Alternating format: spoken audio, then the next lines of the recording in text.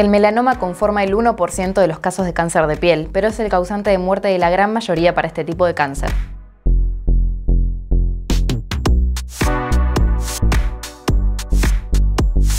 Un melanoma es un tipo de cáncer de piel que se origina por la transformación maligna de las células productoras de pigmentos llamadas melanocitos. Si bien no es el cáncer de piel más frecuente, es el que tiene mayor riesgo ya que tiene una alta capacidad para producir metástasis. El origen del melanoma es multifactorial. Esto quiere decir que tiene diversos factores, entre ellos, por ejemplo, ciertas mutaciones genéticas.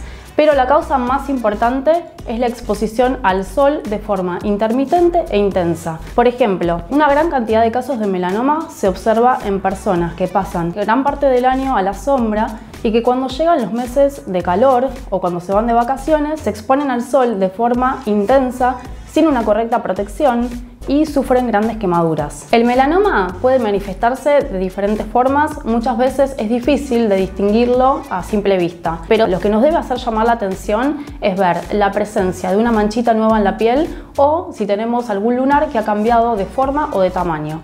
Por eso es importante el autochequeo de los lunares de forma mensual. Este autochequeo debemos hacerlo siguiendo una regla que denominamos ABCDE. Con esta regla nos tenemos que orientar sobre qué cosas tenemos que buscar en los lunares que nos deben llamar la atención. Por ejemplo, la A es de asimetría. Cuando separamos un lunar a la mitad, una mitad es diferente a la otra. La B es de bordes, cuando vemos los bordes que son irregulares o que tienen presencia de indentaciones. La C es de color, si vemos la presencia de muchos colores. La D es de diámetro, cuando miden más de 0,6 milímetros. Y la E es de evolución, si vemos que un lunar ha cambiado de forma, de tamaño o de color en un corto periodo de tiempo. Cualquier persona puede tener melanoma, pero hay ciertos factores de riesgo que pueden aumentar más el riesgo de padecerlo. Por ejemplo, personas de piel clara, ojos claros, cabello claro, pelirrojos, tener antecedentes personales o familiares de melanoma y tener más de 50 lunares. Las tasas de melanoma aumentaron en las últimas décadas y esto varía según la edad. Clínicamente se pueden diferenciar cuatro tipos de melanoma. El más frecuente es el melanoma extensivo superficial, que se da principalmente en personas entre 40 y 50 años en las mujeres es más frecuente a nivel de las piernas y en los hombres en el tercio superior de la espalda. Es el típico lunar que ha cambiado. Lo que vemos es un lunar irregular con diferentes colores, con bordes irregulares, asimétrico y por lo general este tipo de melanoma tiene muy buen pronóstico. Por otro lado tenemos el melanoma lentigo maligno que se observa principalmente en personas de edad avanzada. Este tipo podemos observarlo como si fuera una mancha a nivel del rostro principalmente en personas que tienen intenso fotodaño y lo que observamos es una mancha media parduzca con diferentes tonalidades e irregular y también es un melanoma que suele tener un buen pronóstico. Por otro lado tenemos al melanoma nodular. Este tipo se observa principalmente en hombres entre 50 y 60 años de edad es más común de observar a nivel de la cabeza, del cuello y del tronco.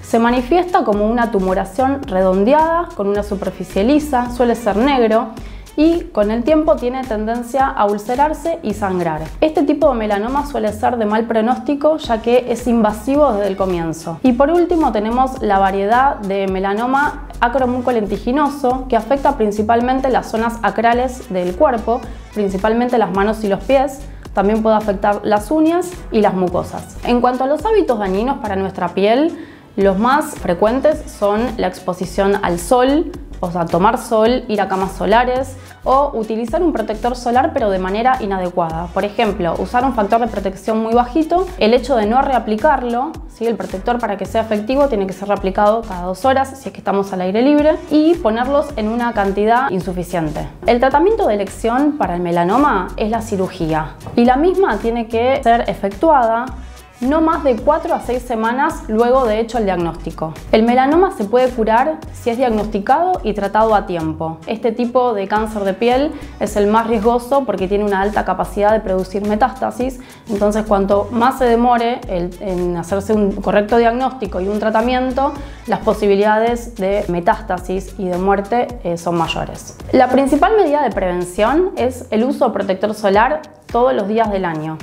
El mismo tiene que ser mayor o igual a 30. Debemos aplicarlo en una cantidad generosa en todas las zonas expuestas. Es muy importante también educar a los más chiquitos porque se ha comprobado que el 50% de la radiación que hemos recibido al llegar a la edad adulta la recibimos durante la infancia o la adolescencia. También es muy importante realizar una consulta dermatológica de forma anual en la cual en consultorio lo que hacemos es mirar con un dermatoscopio, que es un aparatito que usamos como este, similar a una lupa, y lo que podemos observar a mayor aumento son los diferentes patrones de pigmentación y de vascularización que tienen los lunares. Eso nos ayuda a un mejor diagnóstico. Es muy importante que todas las personas controlen sus lunares de manera mensual en busca de algún signo que nos pueda llamar la atención para poder hacer una consulta de forma temprana. Examinar tu piel regularmente puede ayudar a prevenir o detectar cualquier tipo de anomalía. Si quieres ver más de estos contenidos, suscríbete a nuestro canal de YouTube y seguinos en las redes sociales como arroba FISSalud.